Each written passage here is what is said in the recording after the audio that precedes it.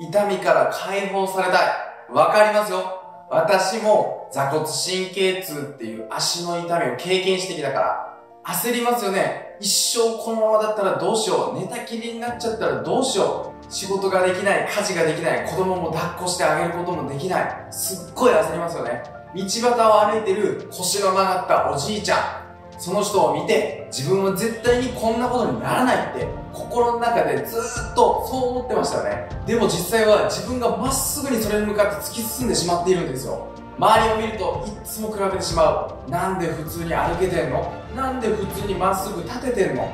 本気で体変えたいって毎日毎日願い続けるんです。そして筋トレをやってみようだとか、ストレッチやってみようだとか、走ってみようかな。食事を変えてみよう。いろんなアイデアが浮かんできていろんなことを試そうという気持ちにもなります。でも次の日になったら同じことの繰り返しですよ。昨日までいいアイデアが浮かんでいたにもかかわらずにいつもの病院や整骨院に行ってお薬もらったり湿布貼ってもらったり腰のマッサージをしてもらったり同じことの繰り返しです。毎日毎日この繰り返しでは本当にこのまま自分は一生このままなのかって本当に焦りますよね。そして多くの人はそのままその痛みを諦めるんですよ。年のせいだ。体質だ遺伝だ。そんな風にすぐに諦めます。でもそれが自分だってそれが自分の人生なんだってそういうものもあるんだよって思うのであればそれは仕方ないと思いますよ。でも本当にそうやって思えるんですか？世の中の人の一部の人っていうのは自分の選択に文句を言ってるんですよ。だってそうでしょ。健康になりたいんだったら今の生活習慣を変えたりだとか食生活を変えたりだとかほんのちょっとしたことで自分で変えられるじゃないですか。でもそれをやろうとしなかった。だから今の結果があるんですよ。自分で選択してきて自分の人生を作り上げてきたのにそれに対して自分で文句を言ってるんですよ。そしてその結果を人のせいにしてしまってる人がいます。それってどうですか？めちゃくちゃかっこ悪い大人じゃないですか。だからこそね夢を持ってほしいんですよ。健康でいきたい。健康できたらどんなことができるのか諦めていた趣味ができる。行きたかったあの場所に行ける。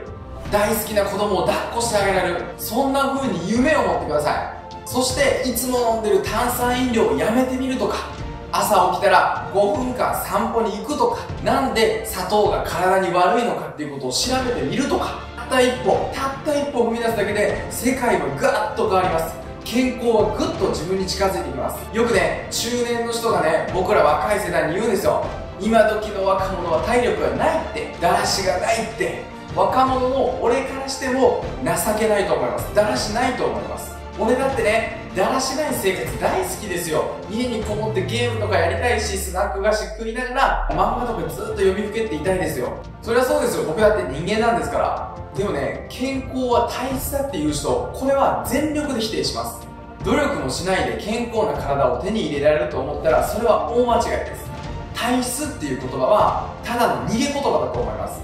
本当に健康になりたいって願ってる人は体質のせいなんかしません。生まれ持った体質を受け入れてその上で自分がどういう風に生きていくのかっていうことを前向きに捉えています。だから健康は体質だって言ってる人はそれは全然違うと僕は思います。よくテレビでもねこの食べ物を食べたら元気になれる健康になれるんです腰痛が治るんですアトピーが治るんですそんなことよくやってるじゃないですか。ぶっちゃけそんだけで治れば苦労しないんですよ。健康を作り上げるっていうのは一日にしてならず積み重ねることが非常に大事になってきます。だからこそ自分の夢を持ってください。明るい未来を頭の中に想像してみてください。健康になることで今までできなかったスポーツゴルフができるようになる。大好きだった旅行に行くことができて家族みんなで温泉旅行に行くとか。生まれたばっかりの可愛いお孫さんを抱っこしてあげるとか健康を手にすることで得られる夢を想像してください。そうして今日も努力してください。そうやって日々努力してる人っていうのは今は体は病気かもしれません。でも心は健康です。そうやって今の自分を受け入れてその健康を変えるために日々努力をしていけば気がつけば健康になっていることがあるんですよ。僕の好きな言葉に健康は人生の目的ではない。しかし最初の第一歩であるという言葉があります。そして僕はここに一つ言葉を付けさせたいと思います。健康は人生の目的ではない。しかし幸福への第一歩だということです。だから諦めないでくださいね。今日も頑張りましょう。